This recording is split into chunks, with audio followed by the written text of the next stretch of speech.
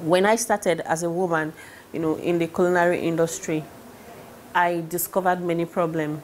Now, one of the for me as a woman, you know, starting a culinary school that was very capital intensive, I was not, I did not, I, I could not even get access to credit from the banks because we were like, ah, it's just a catering, so no, we don't do food, we don't, it was, it was not something that everybody knew.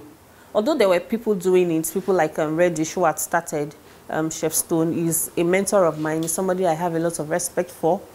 And he kind of blazed the trail, you know, for others like us to, to pass, to follow, absolutely.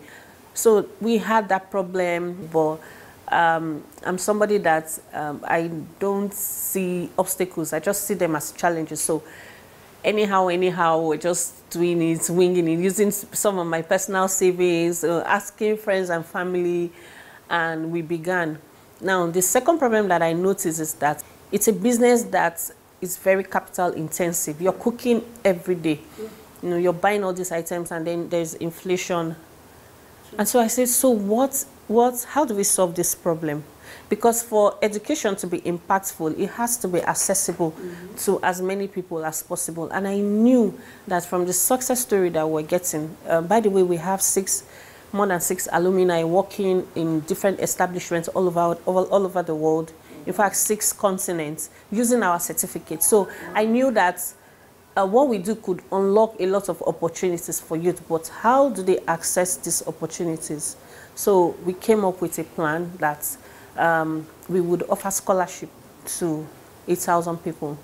So uh, we put the ad. In fact, we said 100,000. Yeah. but it didn't work out. I remember we had more than 50,000. Uh, our, our, our inbox was filled up. We could not even see um, important messages again. We had to like now shift from that you know, to open another one, to open it, yes, so that so that we could like manage the numbers. It just goes to show you how much people really, really want this.